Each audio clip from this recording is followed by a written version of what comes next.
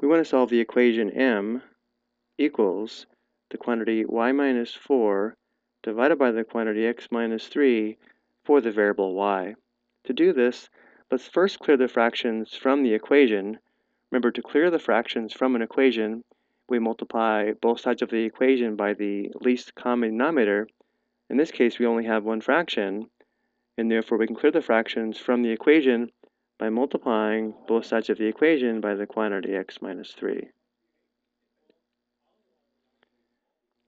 Now looking at the right side of the equation, notice how before multiplying we can simplify.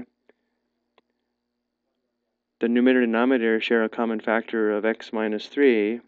x minus 3 over x minus 3 would simplify to 1 over 1. And therefore we just have the quantity y minus 4 times 1, which equals the quantity y minus 4. On the left side we have m times the quantity x minus 3. Now I do want to mention Another way that we could have cleared the fractions from the equation would be to write m as a fraction with a denominator of 1. And now we have a proportion.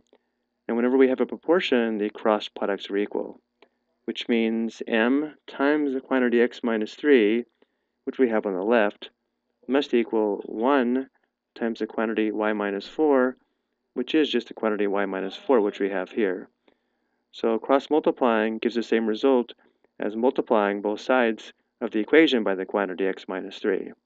Looking at the right side of the equation, we are now one step away from solving for y. In order to isolate y on the right side, we need to undo the subtraction by adding 4 to both sides of the equation. And now we simplify both sides, starting on the right side.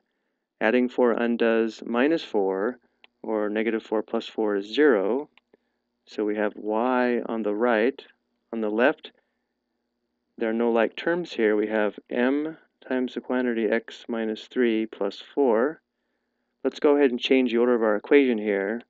We now know y equals m times the quantity x minus 3 plus 4. Or we could also distribute and say y equals mx minus m times 3, so we'd have minus 3m plus 4. Either of these would be correct. I hope you found this helpful.